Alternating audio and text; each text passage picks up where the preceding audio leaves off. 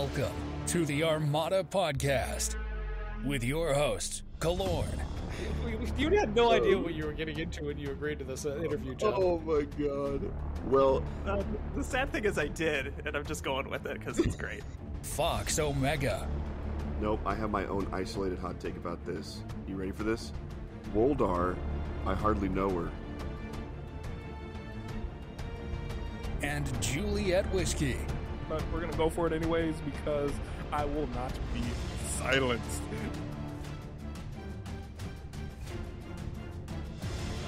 And now, the Armada Podcast.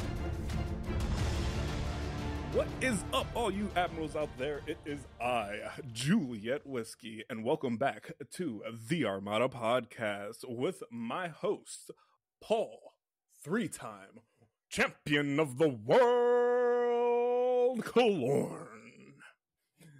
I'm just not going to fight it anymore at this point. Don't fight it. Don't fight it. Let shh, let it happen. Shh, just let it happen. Fox, right hand of God Omega, and our special guest for the night, all the way from Ion Radio, John. I, I feel like I feel John. John, you got to give me a little bit more than just that. Give me, give me. Give, you know what? Somebody give this man a nickname. I, I have a nickname, but uh, Trueborn JCT is what I go for with all my like Xbox and Discord stuff. But I just go by John. You can just refer to me as John. It's very nice for you guys to have me on the show. Thank you. Is it is it Little John or Big John? I mean, are we are we going? uh Technically, I was always nicknamed growing up Big John, but I'm the fourth John, and my kid's the fifth John with different names. So there's lots of Johns involved. So the fourth, but the truest John, John from Ion Radio. Welcome back to the show, everybody, and thank you all for showing up. How's everybody been? How's the last week? You know, the usual pleasantries. I'm alive despite your attempts to smite me through God's wrath. Uh, my internet barely works, so we'll see how this goes. But Don't, dude, there don't were literal explosions. There were literal literal explosions outside my house, and I got calls from my internet provider like, uh, "Don't look outside, but you don't have internet right now. Okay, bye." And they just hung up, and I was like, "Is this a crank call?" Turns out it wasn't. I didn't have internet for days, dude. And now I don't know if I should take it off my Discord all- handle or what. all whiskey's fault. It's all whiskey's It fault. is. It is. My wife blames you because she can't watch your shows. So you can tell your wife that. So there you go. Uh, well, I'm sorry. Like, I wasn't gonna call it to call you that this time, but it's on your freaking Discord handle now. So I'm just like, so do I call it call him that or not? So we're gonna find out.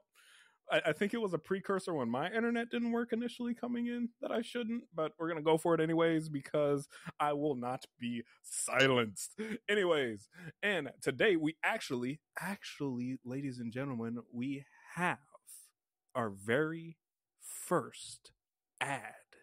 Run it. Okay, really, there's not not going to be a cut to the side. Anyways, greetings, Star Wars players. About a week ago, Golden State Games opened for registration for our World Qualifier events for Armada, X-Wing, and Legion in the San Francisco area. Since then, we've already hit 25% of our capacity. Uh, blah, blah, blah. See, this is why I was just going to swing it. This is why I was just going to go with what I got. Anyways, Golden State Games is sponsoring this event. We will have a special code in the gobbledygook in the show notes and in the comments down below. So if you get a chance, click on our special code. And Kelorn, tell the special people what the special code does. So you do get a uh what is it five dollars off or something? Uh, yeah, five dollars off the discount or uh, or signing up for Golden State Games for uh, for any of the three events. Uh, that is going to take place uh, November the fifth and sixth in Antioch, California, uh, and uh, there will be more information about places to stay and and place and where it's going to be and all that that jazz uh, coming out. But uh, we, we were asked to pro- provide this information by Karnak, uh, who will has kindly agreed to be on the show with us next week as well. So, uh, if you guys are in the area or want to sh- show up for a world qualifier, if you're looking for one of those world's tickets, I am very much going to try and be there at Golden State Games. So, uh, hopefully, we'll we'll be able to see you there, and and you guys can get a couple bucks off uh, of your registration as well. So you heard that, ladies and gentlemen. Here's your opportunity to take down the three-time world champion Kelorn. Make sure you go to www.gamescapesf.store slash golden dash state dash game. Anyways, you know, John. Fox is going to get get get uh, Fox is going to have you smited by the Lord Almighty. I'm just going to be smited by the various people of Armada uh, competitive community, and I don't know which one's worse. I'm literally dying. I can't believe this joke has lasted this long. And if he wins, guess what? Four time world champion. I will not stop. You cannot stop me. John, how was your He- week last week? I'm sorry for bringing you into our chaos, but welcome to Uh, the show. it's fine. Um, my week was good. Um, it's been busy getting back into the swing of things after Gen Con. That is awesome. All right, now time to the primary stuff. Once again, welcome. And on today's episode, we have John's interview, Gen Con Top 8, and my favorite segment, Hot Take 30. From here, I'm going to hand it to the wonderful, the amazing, the right hand of God, Fox Omega. If you guys hear like a suspicious loud explosion over the next couple minutes, it's because of all of the blasphemy coming from this podcast. All right, John, welcome to the podcast, dude. I've got some questions to ask you. We like to kind of dive into uh, your brain and see what kind of Armada player you are. So the first question I'm going to ask is how long have you been playing the game? So I started playing the game um, right when it came out. Uh, it was right around the time that I, I actually started playing board games and like miniature games and like that um, in my quote unquote adult life. You know, as I start buying all these plastic toys. Um, so I was following things, and as soon as the game released, I purchased it, and I've kept buying it ever since. Even though I haven't really played played. Um, because I started off and I didn't really like the group that I was around at this game store, and uh, I stopped playing until like uh, Corellian Conflict came out. So haven't stopped playing since Corellian Conflict, but I was technically in it since the beginning. Nice. Yeah. What what what are some of your favorite board games? Um, let's see. I think one of my favorite. Like, here's the problem: is the older you get, the more you can't even play them, which it becomes really, really frustrating. Correct. Yep. I feel that. And I, I really felt that when I was at Gen Con and I was walking around. I'm like, that would be fun to buy. I don't have time. half of like half of my favorite board games I have in my house, I can't even invite people to play because it's like, man, I love it, but to you, it's going to be spreadsheets, the the board game. So I, I don't know if this is going to be any fun at all. But I, Yeah. I, I literally bought uh, what was it? Um, what's the Twilight Imperium? I bought the big Twilight Imperium box, and I've literally never gotten a chance to play it because to play it takes eight hours, and I don't have eighty hours anymore. And you know, we've been trying to put together a, a D and D campaign with Fox and a couple other people's, and we we just can't seem to make it work. all those world championships One- you're knocking down keep you from being able to get a. oh, clear. uh, Yeah. Well, I, around I, it, I, I, I mean, your your time as the right hand of God is clearly more important than board games. the amount of He times I've over your ascended this past week. World rings. What- d- d- but don't don't don't sit there and yell about spreadsheet simulator. Oh, this will be spreadsheet spreadsheet simulator to you. I played Eve. That is the epitome of spreadsheet simulator, and I The only reason why I stopped is because I had to adult. Adulting's hard, so we feel you, John. Yeah, once uh, internet hugs. Internet yeah. Um, right now, I actually got the expansions for the game that I do try to play at least once a year. Isn't that sad when it's like a once a year thing? But Star Trek Ascendancy, I don't know if you guys have heard of it or played that. Yeah. oh my gosh. Yeah. That's great. Mm-hmm. I, I my favorite game is um, Food Chain Magnate, and I get a bunch of crap about that uh, because I wonder why that is. I run restaurants and Hmm. everyone's like, "Are you just working? Like, is this working work the board game for you?" And I go, "Every hey, everybody, shut up. This is fun for me." But Do, do you come home and play that game where di- uh, it's a dining dash or whatever it is, where you like uh, come into like you you have to hand out food at home too? I come home and my internet explodes. So uh, it's I don't know. There's a lot of explosions happening around my house. I'm laughing so hard over here. All right, next question, John. Uh, what would you say is your play style? Um, I don't really think I have necessarily a play style. Like a lot of people, they might just play a single faction or things like that. But um, with what we do on Ion Radio, we have a different list every single week. So I enjoy like the aspect of the game that I enjoy the most is list building. So I will build a list, play it once, and then that was fun. Move on from there. So I think that would be my play style is like a one of like a lot of one-off type lists that I'm just trying to do a certain like gimmick or something janky, and then uh, retooling with a different commander for something else. So would you say you you, you fly uh, what's the what's the the junk drawer method? Yeah, I could. You could say that. Um, it's not like uh, the uh, what's the term? Uh, the garbage fleet. Like they're a little bit more put together than that. Like I um, let's say you just take a commander. What do you want it to do? Squadrons, ship only, or MSU? And you could just make any sort of combination with any commander like that. Like Ken and I just got done. Um, when season four ends on the channel, there will be every single commander inside two seasons of our content, which is like 10 episodes. And then we're going to switch. So by next summer, we're going to have every single commander, both of us commanding a different list with different ideas with that. Jesus, that sounds this sounds complicated. But before before I forget and before sorry Fox, I know I'm totally stepping on your toes and my bad.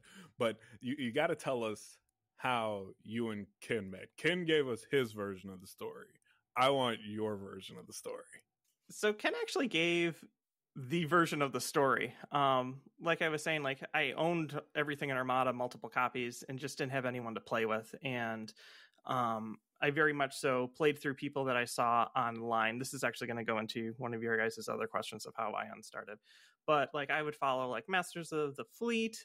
Um, I believe there's this guy named Steven that was out of um, Pennsylvania he did a lot of streaming early on in Armada, but his channel has been deleted. He deleted it since, so I, I, don't know what happened to him. But I would watch people play games and be like, "Oh, those are good ideas. I'll store them," and then you know have lists made up that one day maybe I'll play with it. And I was on, I believe, the FFG forums, and someone posted something about being in Oaklawn, which is the town I lived, and they were going to stream a game. I'm like, okay, whatever. And then I found the stream and I asked them, where they were and it was literally two blocks away from me like if i really wanted to which i don't because there's major intersections like i could walk there and i just didn't know that the store was there because it had just opened so i went there one day and they hooked me up with their armada player that uh, was ken and that's how ken and i met. Juliet whiskey stealing my questions. Uh, i guess we'll skip that one when we get to it. Anyways next question if you could give advice to the you starting the game, what would it be? That's a hard one. Um, probably do my own thing, and that that actually just goes into um, like Ion Radio as a whole.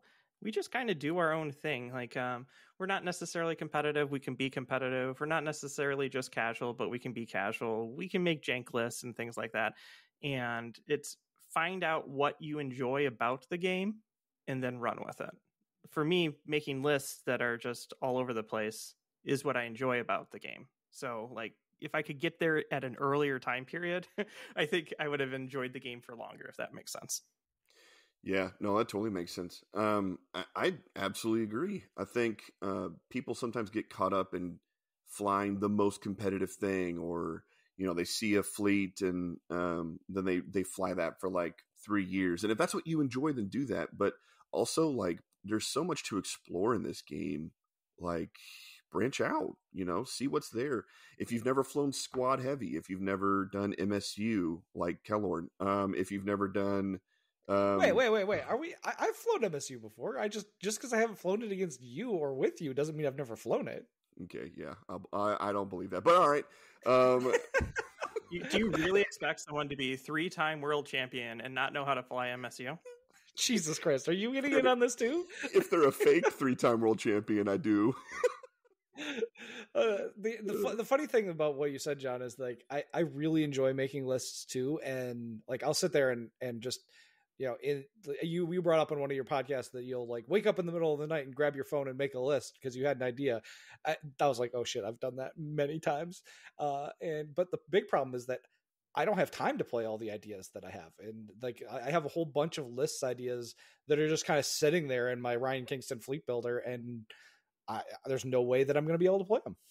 I I have way more lists than I will ever be able to play, and like even way more lists than I'll ever be able to play even on the channel. Like so, Ken and I are pretty much done recording for the rest of this year, 2022, and then we have planned out list for the first half of next year and that's just the list that I've thrown out there so far because most of it um, is uh, just me. Like like when I get assigned, like let's build a Sato list. Well, I have four Sato lists. I have to come up with which one I want to put on, and that that becomes really annoying because I want to get all of them out. I just do not have enough time to do it. Matt, you want to take us into the top eight discussion at Gen Con? Sure, yeah, let's do it. Um, so we well, do we want to start? Where do we want to start? We want to start with faction. We want to start with stats because I can do that. Let's do some stats. Yeah, huh? if you want to. Uh, I, I, I, maybe we can start with just some general impressions with from John about what day two was shaping up to be after day one. I know you guys had to start out really early.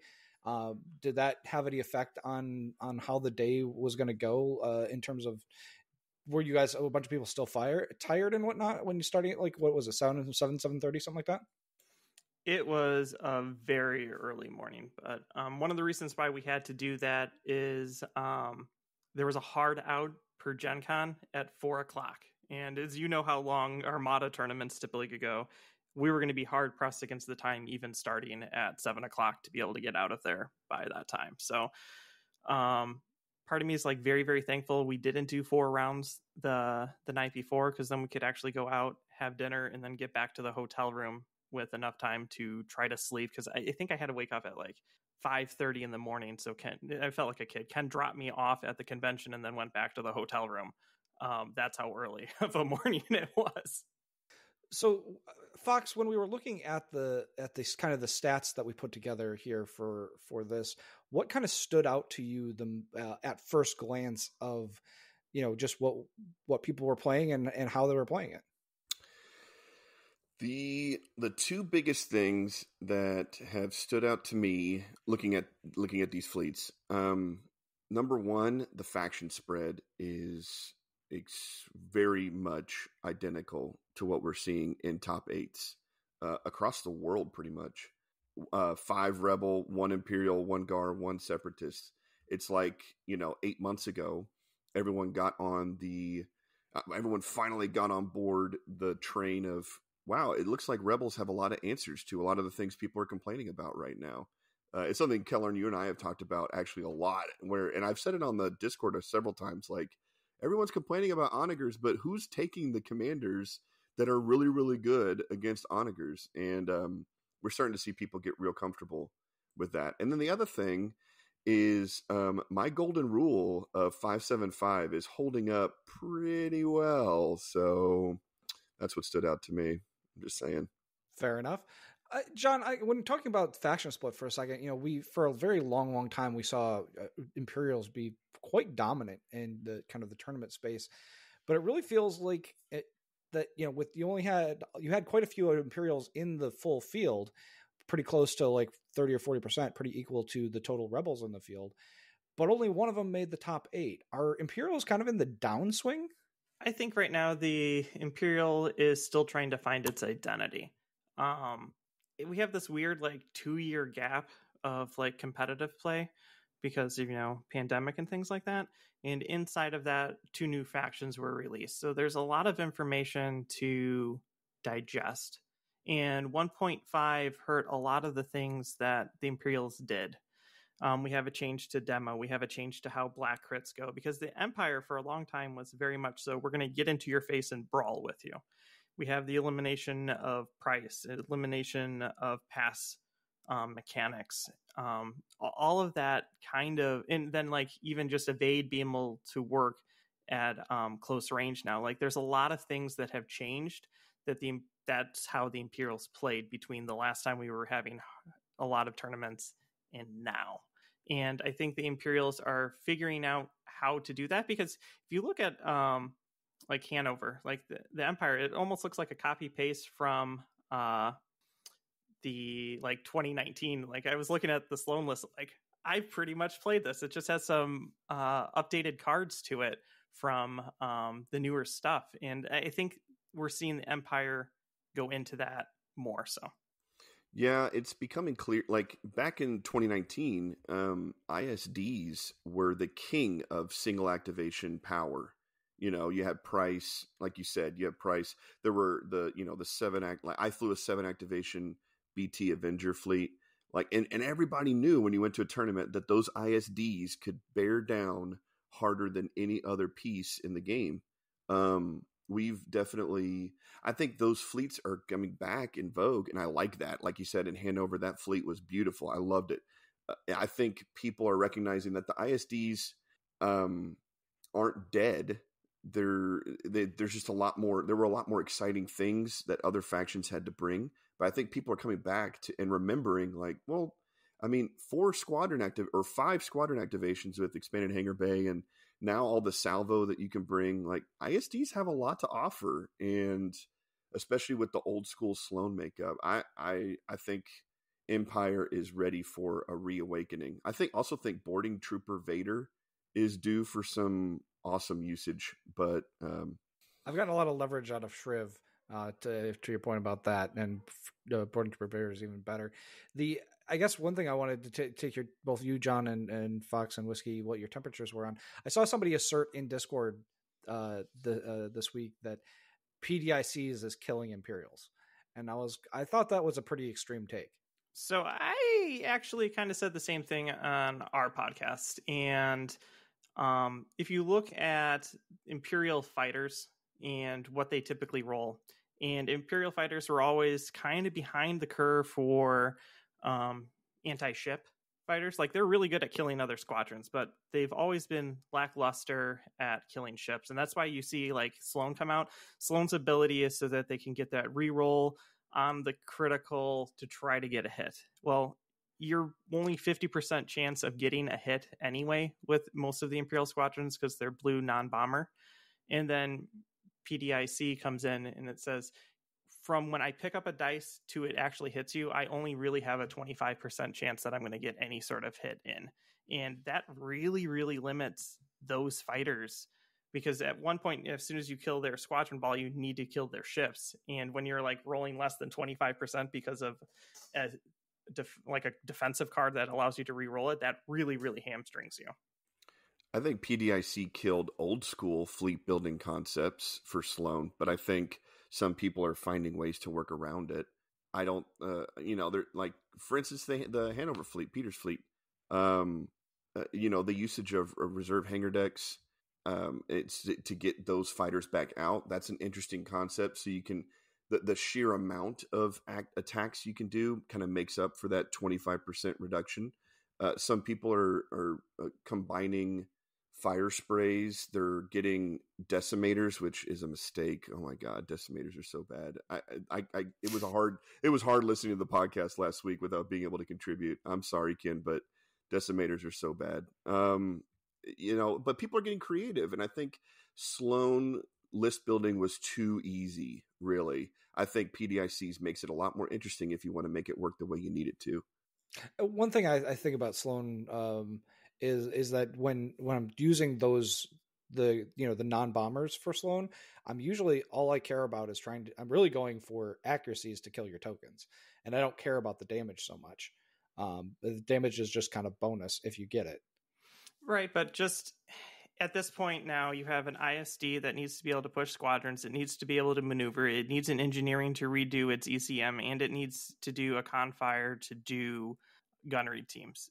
There's a lot of moving parts to just get it to function baseline. So even if you were able to go in there and flip their tokens, Avenger's is not there anymore to just automatically, you know, smite the ship. So you need additional damage from fighters to help you chip ships down, especially with um, like the newer factions all having salvo and a lot of the ships being able to take salvo now.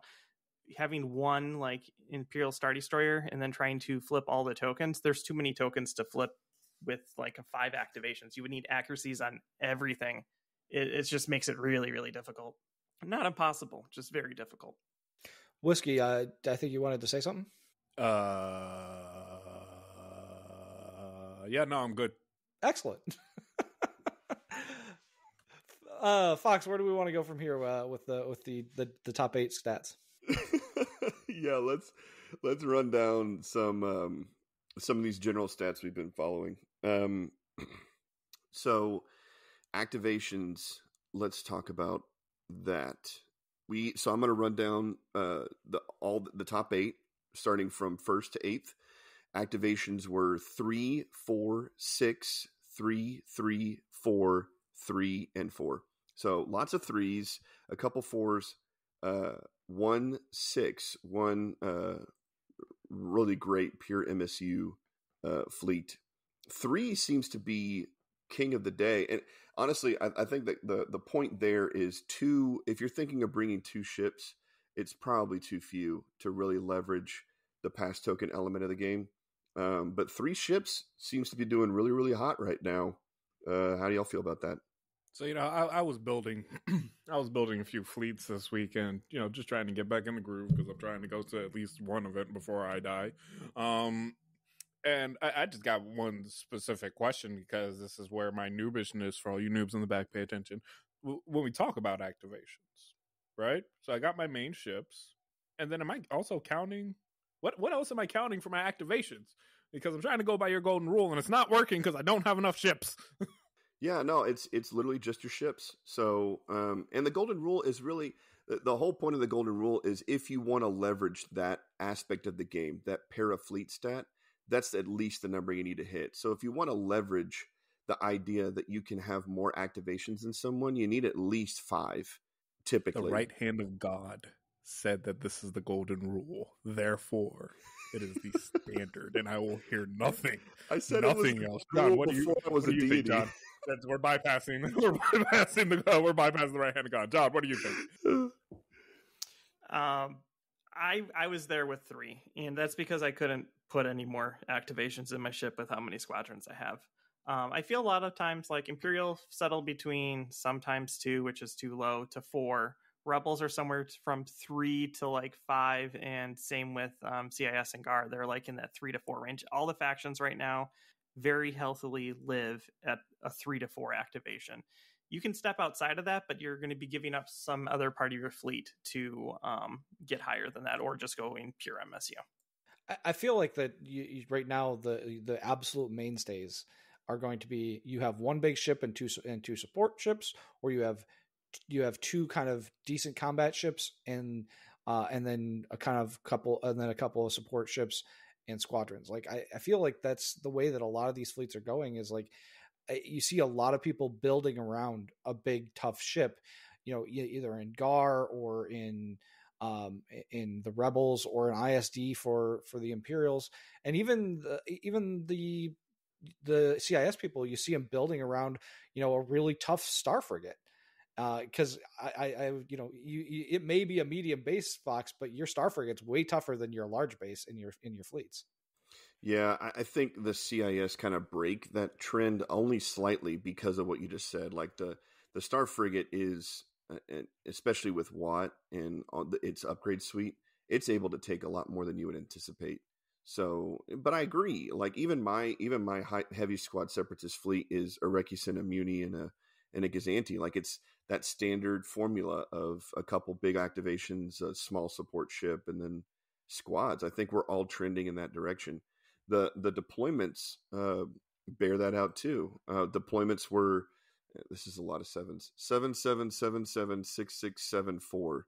So um, my golden rule of seven. There's a reason why if the four was at the bottom. yeah, well, yeah, you're not able to see a lot. Uh, uh, yeah, you're out deployed by three a lot of the time in that spread. But um, I mean, if if you're not bringing, I, I, honestly think the squad game right now might have a lot to do with just being able to put your few ships in the right spots later than your opponent. You know, John, what do you think, man?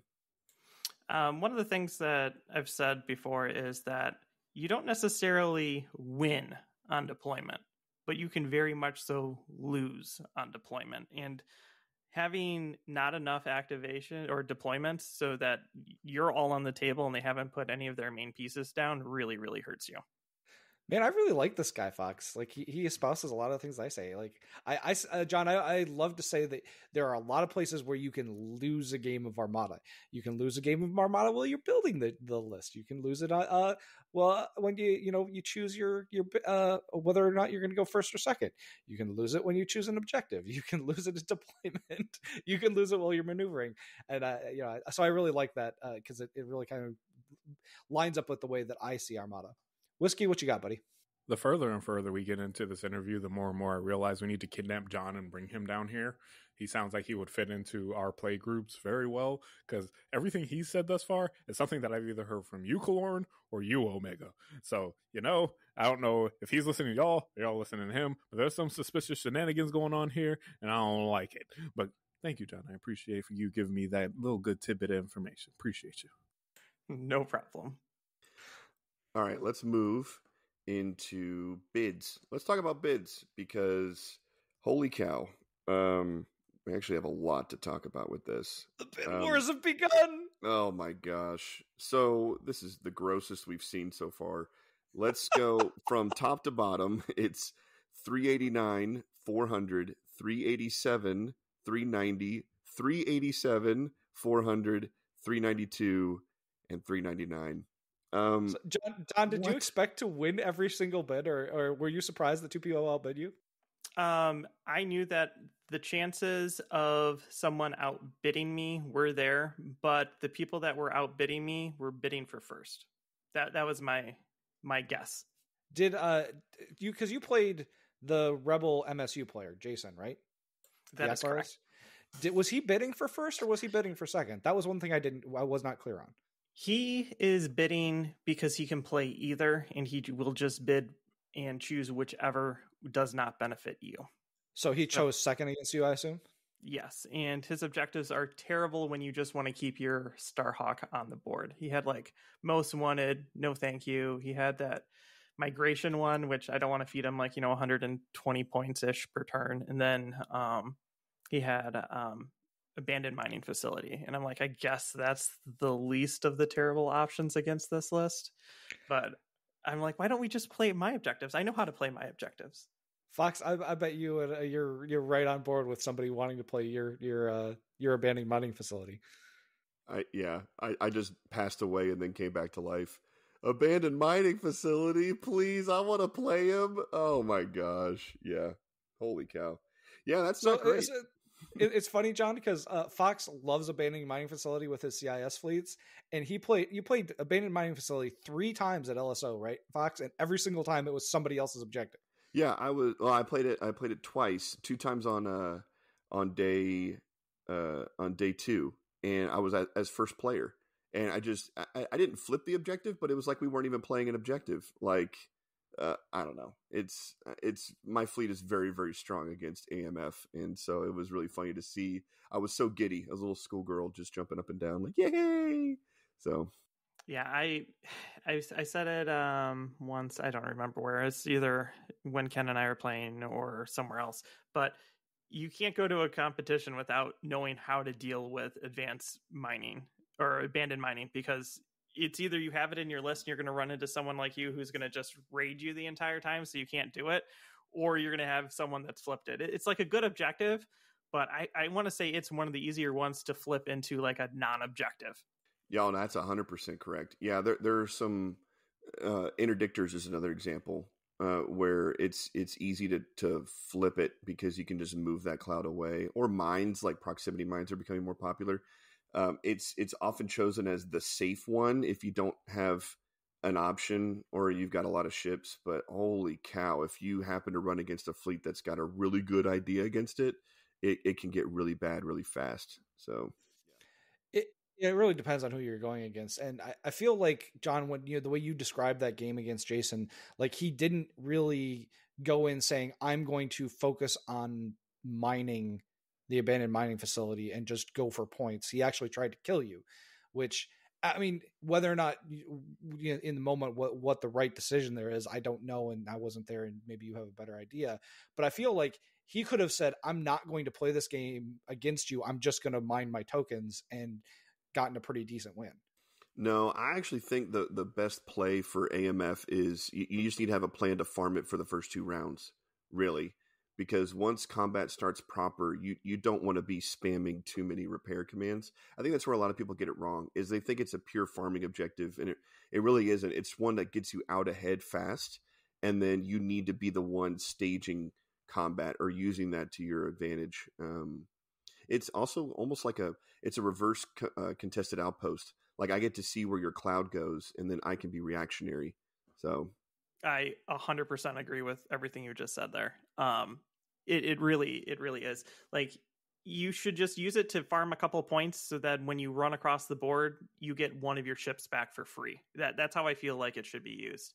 And that's pretty much how jason did it.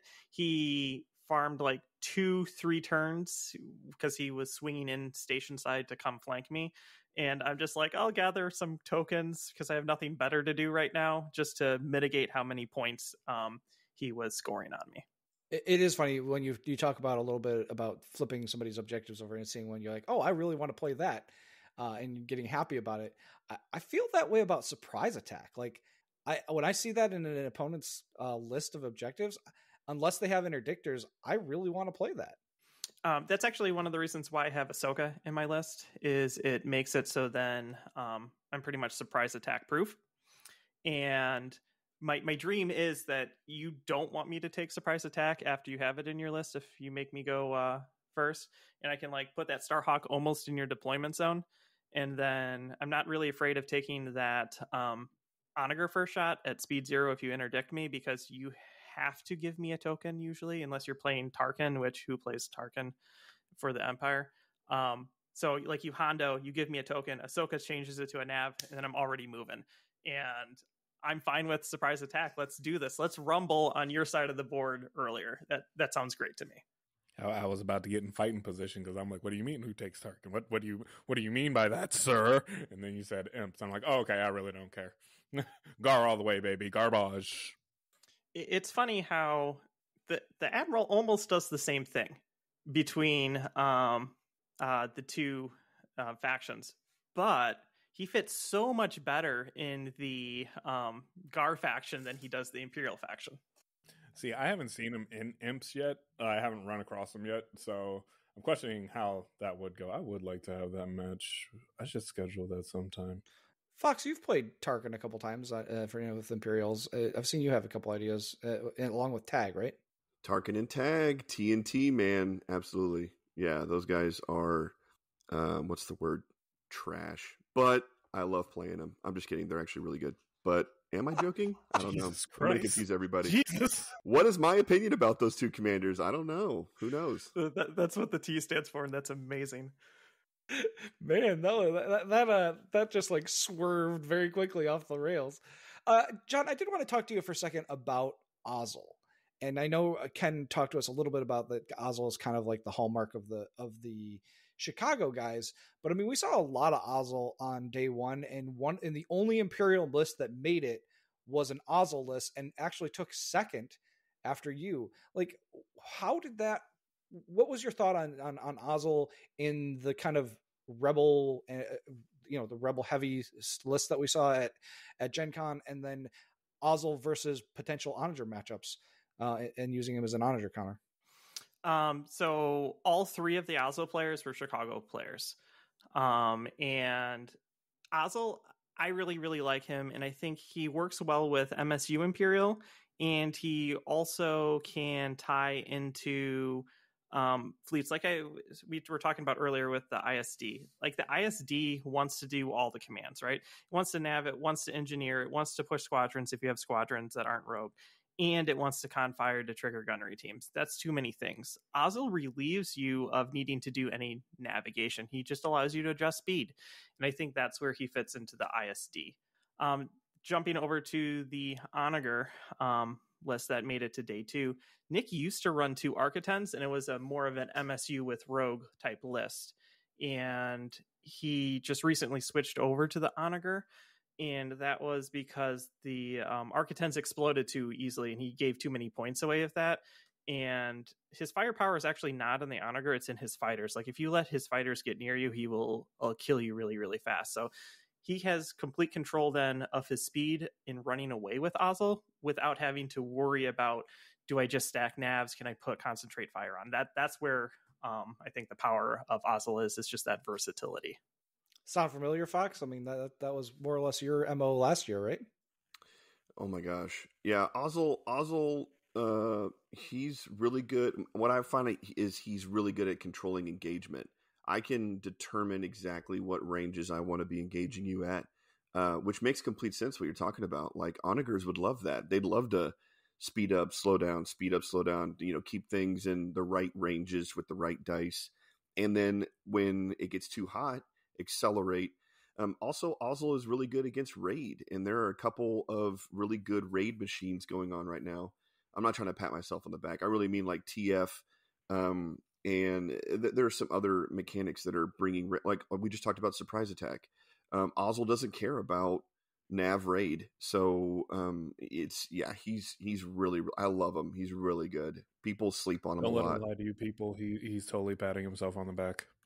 Well, pat himself on the back. I, I really like Ozzel, and um, like if I were to rank like current like um Imperial power, like you know for commanders, I put Ozzel almost top three, just because of his versatility. He can work with almost any any fleet, and like you're saying, like going from like zero with an onager to theoretically speed four with engine techs, you you can Ozzel to one, you can nav token to two, you can nav dial to three, and then engine techs to four. So you can go from zero to four to get out of dodge really, really fast with Ozzel. Ozzel in the top three commanders for Imperials. John and I are going to get along just fine. Oh my gosh, I would 100 percent agree. Okay, John. John, you just need to sell your house in in uh in in Chicago and just come live in Texas with us because clearly you belong here. I was just about to say he's lost. My, my wife has this rule. Um, we're pretty much as south as she would want to live. She doesn't like spiders or snakes or anything like that. And we still live in a high enough like frost area that all of that dies at a certain point of the year. So if you guys want to come north, you're welcome to come north. I don't think I'll ever be able to go south though. Uh, you're missing out. I, I grew up in, in northern Michigan, and I, I like the winters down here a lot better than I like the winters in Michigan. But how about Uh, the melt you summers uh, we just stay in the house with the air conditioning on, man. when, when your houses aren't exploding from uh, the wrath of God? Yeah, well, I mean, the, there is the wrath of God aspect. From the complete and utter wrath of Gaul, Gaul, God, I'm playing Destiny. Leave me alone. Anyway, squads. I, I, yes, I'm, I'm taking over for. I'm taking over here just for half a second. Squad. Jesus, take the wheel. Jesus, take the wheel. Sorry, squads. Super heavy, all tournament long. John, what's your take on this? Is this just what it is now? Are we expected to just come in swinging and a fighting? I think squads have always been there. And there's really fast way to lose a game is if you ignore that squadrons exist. Don't tell me that. that hurts my feelings. So, John, John, I, I wanted to to kind of get, into a minute for why did Imperial squads not do well? Because there was a number of Imperial heavy squad lists in the day one kind of spread, but only Nick made it with his with a, largely rogue based list, and you know most of the the rebel squads were rogue based. Uh, I mean, what what was going on there? Is it like we talked a little bit previously about that rogue squads were good, but we've all we've also had some people tell us that you know there are limitations to it. So what do you think went on and and why it went down the way it did? So I can only speculate on that. I pretty much rode I killed rebels on rebel action all the way to day two. Um, I only played one Imperial list the entire time, and they only had four interceptors as um, a speed bump. Um, so I, I didn't get to really focus in and see how people were playing those other lists. But what my guess is is that um, like what we were talking about with the ISD, there's so many things that the ISD wants to do. It becomes difficult to push all those squadrons. I know one of my favorite lists, just because I love janky lists like this. Um, one of the Chicago guys brought like it was something ungodly, like ten tie bombers. Well, ten bombers. That guy was awesome. So Is- many bombers. I know, I know. Like if you like this is like if you don't have an answer for squadrons, you're dead. Like you're dead in one turn. Um, but like it becomes difficult to push that many squadrons and becomes like very difficult to move them to where you need to like 10 bombers don't actually fit all in an arc. So you're like attacking multiple arcs to get them all in or you know like fading in and out. Like that becomes difficult. And then like sloan type lists when they're up against rogue that are like beefy generics. So like sloan's really really good at killing aces and now with an ace limit of four some of her power against squadrons is diminished because those accuracies are just blanks instead of you know like now you can't scatter and you explode. So I, I, think that has something to do with it. And like when you're looking at like almost every rebel list is like all like lando slash dash slash shara slash yt 2400s and then you put another squadron in for taste. Like there's a lot of beef there in rogue that just attacking it with tie interceptors isn't necessarily going to finish him off immediately. That that's kind of my take. Fox, what, uh, what's your take on the on the squad situation that we saw it here in Gen Con? Fox is underwater right now. Why is he underwater right now? He's underwater. Just he, just trust me. He he's swimming. He, he's swimming and it's not working. So now he's just become a creature of the deep. Now he's just walking across the bottom of the ocean. We'll see him in about ten to 20 minutes maybe next year. It, who knows? Fox will be okay. So, what we're going to do instead is move on to the Starhawks shenanigans that was going on. Fair enough. So, John, we've talked about the farming Starhawk 134 concept uh, almost ad nauseum on this podcast uh, after I uh, took it to to TXO earlier this year. But I noticed you took boarding teams, which is certainly not something that we talked about uh, when when when I was discussing uh, w- the way I played it. Um, so when I made the Farm Hawk in the past, um, it was right after I did this like Imperial. I had like three Lambda shuttles, and I just farm Ken on the channel for like it was something ungodly. It was like 24, 26 tokens or something like that. And he told me that it was the most annoying list that he had ever played. And I said, hold that give me one second. So I took the Starhawk list that I had, and he knew the you know competition stuff, and I put it with farming objectives with two VCXs, and then I'm like, and on top of that, um, because I played a lot of like Sloan and Avenger stuff, and I'm like, I'm going to put boarding troopers on it because now it's like everything you hate all in one list, and then that kind of stuck. That that's kind of why it's there. Um, is a half joke, and then it's really good at killing other Starhawks because Starhawks with Agate, like you get into this who can whittle each other's tokens down first. And when I just get to flip all your tokens, you win that match. Fair. I, I actually played uh, Ryan Becker's um, boarding team's command SSD with an onager list. Did you ever see that one? I have seen that. It's ridiculous. so I, I, I, played that list with my Farm Hawk before I took it to, to TXO, and uh, I was doing great. I was doing great, uh, and then he he flipped. Uh, I was in the side arc of the of the of the SSD, and he flipped my tokens, and I had to burn a couple, but I was doing okay. And then he flipped a comms noise on me and slowed me down to speed zero. And I was like hanging on for dear life. On turn six, he activated with the SSD first and hurt me real bad. I was on like four health or something or like two or three health. I was in. He had his onager lined up to absolutely blow me away, and I he moved the SSD and moved it out of the the uh, way of the onager, and I was able to double hit the onager in the face and kill it because I had advanced gunnery. and he got really mad because he was like, "I had you dead to rights." It was I was like, "Man, the dice saved me that time." Oh, that's so frustrating for him, and you're probably like just sweating on your side of the table. It was. It was awful. but I mean, eh, you know, if if I hadn't gotten the comms net, I still had some tokens left, and I would have probably been okay. Uh, but man, that comms net was just like, oh, that is the really bad luck of the draw. But that boarding team's concept is really nasty. Yeah, my idea for um, actually using it and not just as a joke um, is there's a lot of fleets that want to close in tight on you, and a lot of them will choose something that's not um, um, advanced gunnery if they're planning on killing you. Like maybe I can kill you before you farm all the coins, and then as soon as the Starhawk's dead, it's dead. So you could, no matter how many tokens you get, you're gonna still lose, which is always a scary thought. But like it just gives me that little bit extra of you don't want to be near me that I need to keep people from coming near me. It, it's mainly a scare tactic. I think I only used it uh, once the entire entire tournament, and it was against an ISD that already had uh, tokens spent, so I just got rid of it right before I killed it. But like, it's mainly a deterrent, and then if you run into someone that wants to run into you, you can kill them, and then like you know how onagers love to do that, will sit in front of you for one turn and then disappear.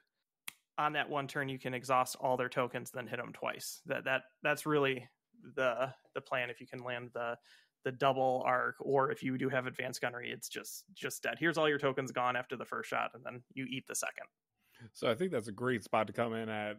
There's been a not so minor meltdown over farm hawks in various discords, uh, but Fox personally feels like it's just going to spur another meta shift. Uh, without giving away your future plans, uh, what were some of the things that you were afraid of coming up against while playing Farm Hawk? Um, oddly enough, one of the things that I'm most worried about is um, Mark Took MSU with Patriot's Fist because if they can get all those red dice on you at one on one turn early, then you're gonna melt through all your tokens and all your health really fast. Um, other things like just MSU in general, just because I'm one ship and you can just fly off to the other corner, or you can like the Ackbar list with Jason. He he almost killed me. He he was he needed like really one or two more good shots on me and I was gone. Like those are the fleets that I worry about the most is honestly lots of red dice from long range. Well, Truthy managed to to kill my Farmhawk when we played a test game uh, for so uh, for him with his Grievous list. That uh, Grievous MSU it was three Hardcells, um, a a Patriot Fist, and then a bunch of squads, including three hyenas, which uh, got when they roll really well, they're really really nasty uh, in terms of burning up your your tokens. Um, the other one that I would add to that list, John, is is is, is Raddus. Uh, I you know I um, Ryan himself did uh, Ryan Becker did really well against uh, Rubens uh, Farmhawk in, on day two and was actually able to kill it with his Raddus drop. Uh, even though he used uh, it, it, was Overload Pulse, right? And bo- it was Overload Pulse and Boarding Troopers as well. Yes, it was. Um, that's a scary list. I did not want to face that at all on day two. I'm like, ah, that's gonna straight up kill me. There's nowhere I can hide a big giant Starhawk, and you're gonna just come in and wipe out all my tokens. But I could wipe out all of his tokens, and we'll just have a slugfest. Yeah, that that that certainly is what it would turn into. And I, you know, I mean, it, it's funny because like we talked a little bit about like I, I, do feel like MSU and Raddus are kind of what's coming next in the meta, uh, just in general in response to uh, the, the the Starhawks that have been out there. Uh, but I also feel like you you have a couple of different kinds of potential radises. You have the the radises that are built around dropping um, you know profundity uh, with uh, with another ship inside, and then you have kind of the the MC80 uh, battle cruiser star cruiser Raddus lists. Do you have a, a kind of hand, like I but at the same time like I don't feel like the the battle cruiser star cruiser Raddus lists are really that big of a threat to a farm farmhawk. I would agree. The overload pulse and boarding troopers is really what hammered that list home. Um, if you had the points, the problem is it's always with Raddus this like risk reward of can I survive long enough to make that Raddus drop, or I'm going to be that shame person that's going to get wiped out on turn one. Um, and so the last competitive um, Raddus fleet I built, I had the um, MC80 being the Raddus ship to drop the um, MC75 and a hammerhead on someone. And that's how I found the most success with it. I, I think dropping the profundity is better than dropping a liberty onto someone. And so I would agree with you on that. Yeah, and, and I I tried that uh, Liberty flagship as well. The problem with it the there is that that I found is that I ended up running into the profundity quite a bit um, and that was just kind of suboptimal. So I, have kind of moved into this uh, using Foresight as my Raddus uh, flagship, along with a GR75, and it just gives you a little bit more flexibility in terms of like where you go after you drop. I've tried that as well, actually too. I feel that um, what I was keen with the um, Liberty is to kill um, super star destroyers. So a lot of times I would try to get the Liberty right into the front of it, and then um, to the side the um, profundity, so then I could just ram into their super star destroyer. But with a Starhawk, it's a it's a different way to kill it. Like you still have to treat it almost like a super star destroyer in the way you um, kill it, but it's different. You know what I mean? I completely. Uh, well, no, I actually I do not know what you mean. Kelorn probably knows what you mean, but I have. I am the noob. I am fresh. I am. I am clean and sparkly. And yes, Kelorn, do you have anything to add to his statement before we continue? No, I, I, think that, like I said, I, I, I look forward to where the meta goes from here, and whatever that is going to end up being, whatever people answers co- uh, are going to be. I mean, like, I and I, I'm curious, John. I don't really intend to play Starhawk again at this point. Um, I just I don't see a way for that to go forward in the meta and continue to succeed when people know it's now. Now people know it's coming now. You know. Uh, yeah, like we've uh, talked online it frustrated me that you were using it before Gen Con because I was going to be using it Gen Con. I'm like, I don't need people to know the secret of this farm hawk. It was really, really annoying. Like, why would you do that? Um, and now that it, it, it's hilarious because we both came out kind of like we never talked about it before it happened. You know, like it, we came up with it independently. Yeah, and like, I, I don't want to say it's a one shot pony, but like, people are going to adjust to it, and the list goes down so hard if you know how to fight it. Like I always tell people, it's either I'm getting a six five, a 10-1, or I'm 110. Th- those are my three options. Like there's nothing else really in between. So as soon as people are good at countering it, then it's such a liability to take. I pray to God, all of you out there are taking notes, because they are giving away the secret sauce. They are they are handing out all of the juicy tidbits for you to shift the meta. But while we wait for the answers from the community of where this meta is going, what we can do is get some answers for these hot takes because you all know what time it is. It is time for Hot Take 30, where we ask our wonderful host and our interviewee some of the most outrageous, outlandish, and most questionable of questions. First, we're going to start off with Big John the True. John, you got your mute, mic, mic, mute unmuted, mic unmuted. Yeah, I'm just Are laughing you... here. Uh. Armada, it, it, it, needs more official game modes, at least more than just the 400 points. What, what's your hot take on this? Technically, there's three official uh, um, modes. You have Task Force, which is the small 200 point games. You have standard, which is 400, and then you have um, sector fleets, which are 600 plus. Um, I would like to see more of those used widely. Um, I know Ken and I on the channel we do a modified version of monster trucks, which is a sector fleet at 800, which is a lot of fun, just big ships crashing into each other. And then we also do our own different style. It just so happens to be taking place in March, and we call it This is Madness, like, you know, what C3, C3PO says.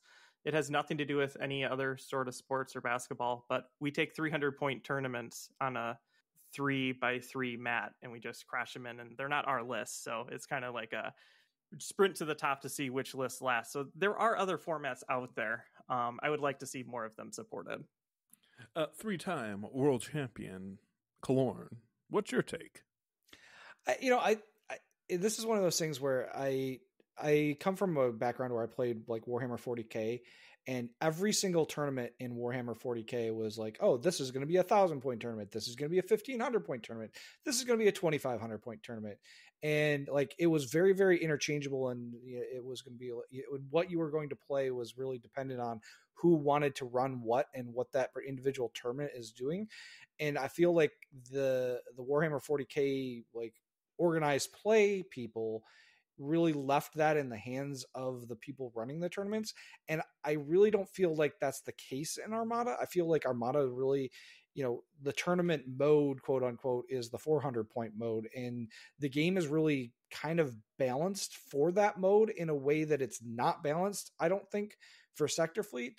So like to support those other modes i almost feel like you need to revamp some pretty core aspects of the game I, is that something that you guys have run into running those other modes in uh, kind of a more official capacity john um for us, we very much so limit the list and like the this is madness and select lists that would work well with it. Like honestly, people that drop in like double largest were like, this just wouldn't be fun to record for it. So it it spans into more of like minor MSUE slash here's a big ship with some support type lists and not so much fighter heavy. But yeah, I would agree with that. 400's where it's balanced the best. Um, and as soon as you start going outside of that, like some commanders become useless in 800 plus point games, and others become like god tier. Like Tarkin actually gets way better in the bigger point games. Ackbar Dear is Lord. ridiculous, ridiculous at 800 points. And then you have my favorite commander who becomes actually useful because he can bring ships and squadrons. Sato. Sato is god tier in um, Sector Fleet lead as well. Dear Lord and Heavenly Father, we come to you today and say, please return Fox, your right hand, from the bottom of the ocean. Fox.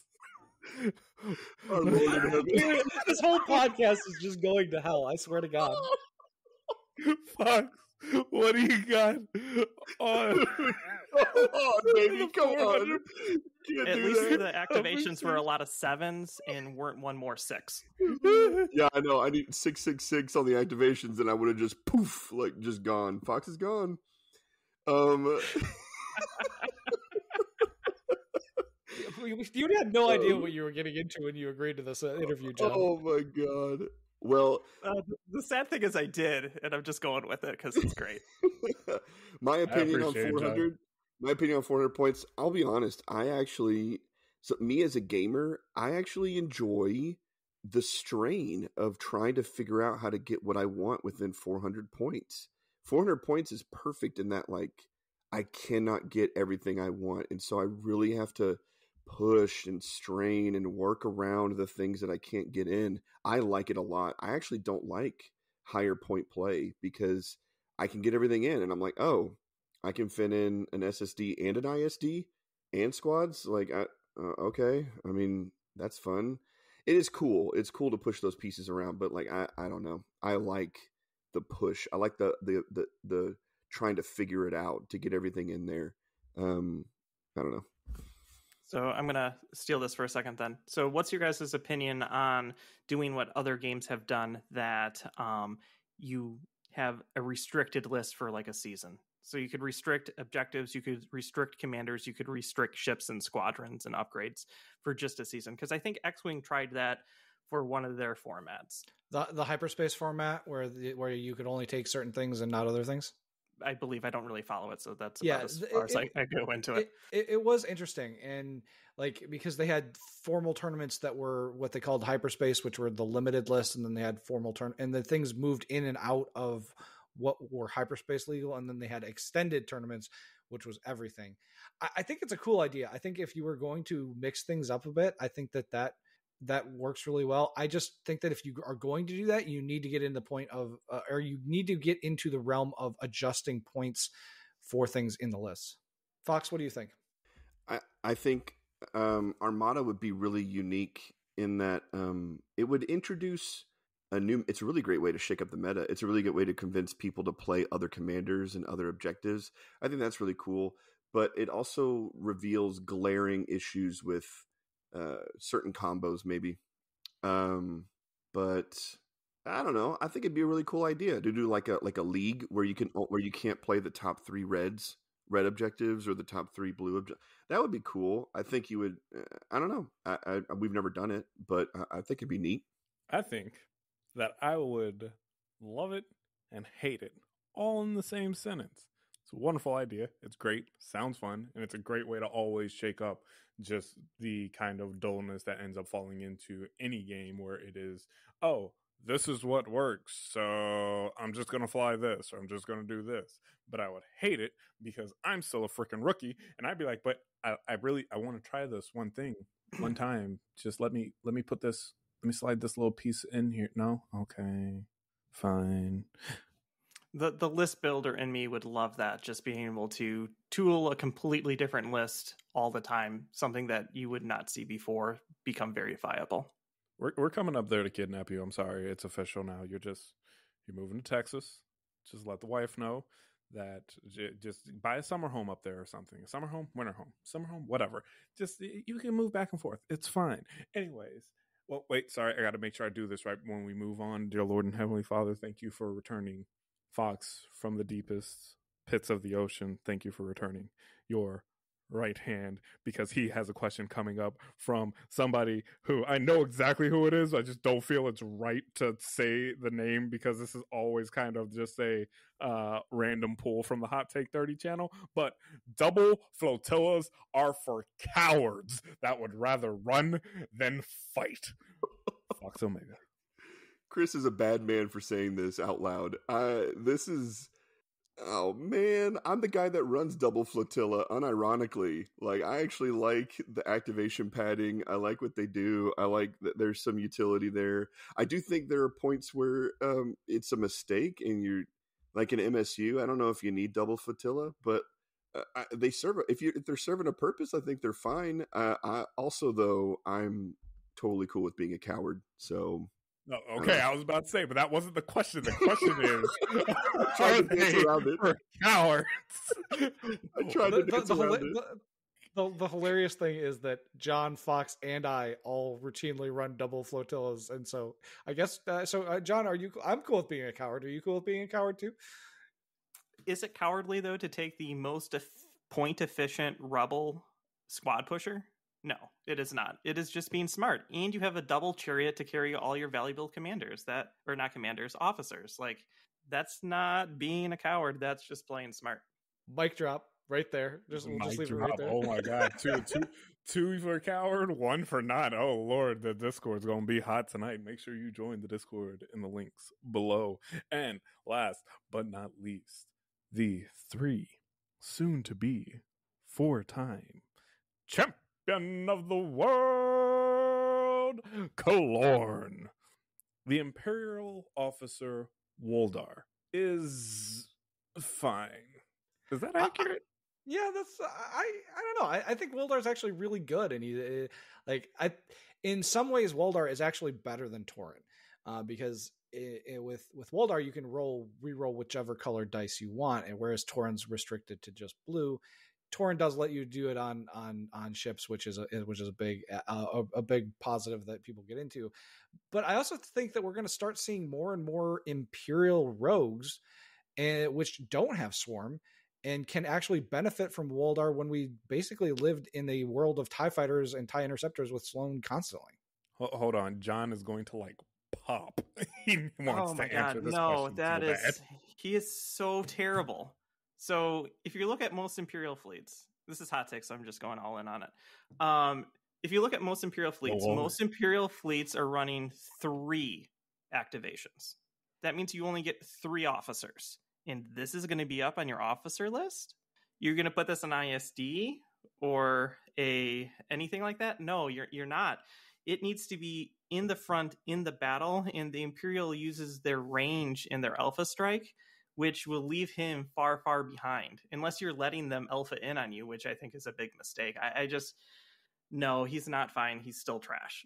Like wh- who you, where are you going to put him on a Gozanti that you're going to run right into him so it dies? Like I I don't know. I I would not be taking him. I, I've seen him on suppressor with slicer tools, uh, and and uh, and he works really well in that particular aspect. But Fox is about to tell me I'm wrong too, so you know I- I'm cool with that. Nope, I have my own isolated hot take about this. You ready for this? Woldar, I hardly know her. That's all I have to say about that. Get out. get get out. get out. Get oh my god. I'm disappointed. you in you, Fox. you realize Fox, you realize that's going in the intro, right? As I planned the second I saw that we were talking about Woldar. It has been well played, well planned dad joke. Star uh, Star Wars Armada dad joke of 2022 right there. Ladies and gentlemen, this was the Armada podcast. John is clapping for was right here. Done. Done. That's game. That just that just end the episode here. We're done. but no. Um once again, that was the Armada podcast. Thank you for showing up and listening. We uh we post every Friday, Thursday, Friday. I still don't know actually what day we post. Anyways, we post once a week on Thursday or Friday and make sure you subscribe, download, save it to your browser. I don't care. Just make sure you are here to listen to the shenanigans that goes on. John, the true. Before I let you go, tell us where can they find you at? You can find me. The easiest place to find us is the YouTube channel Ion Radio. Um, you can also listen to the podcast that I'm on, Command Stack. You can find it on all your favorite podcast stuff. Thank you for coming on with us, by the way, John. It was uh, it was great to have you in, and congratulations on your your, your big Adepticon win. Which we I don't think we have formally said that you were the winner, or not Adepticon, your uh, Gen Con win. Uh, sorry about that. Uh, I don't think we formally said that you were the winner of Gen Con. So uh, congratulations on that. For, you get your great plane ticket, right? Uh, they haven't contacted me, so I haven't decided yet if I should fly out of state and then have them fly me back. So we'll see about that. But thank you very much. you're you're you're uh, the you're, uh, I forgot you're like 20 minutes from Adepticon, aren't you?